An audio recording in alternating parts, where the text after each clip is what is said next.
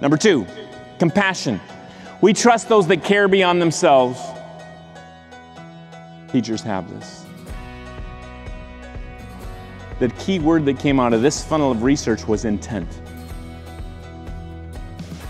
If I believe that leader cares about me, I might follow them. If I believe that salesperson cares about me, I might buy from them. If I believe that teacher cares about me, I might, listen to them.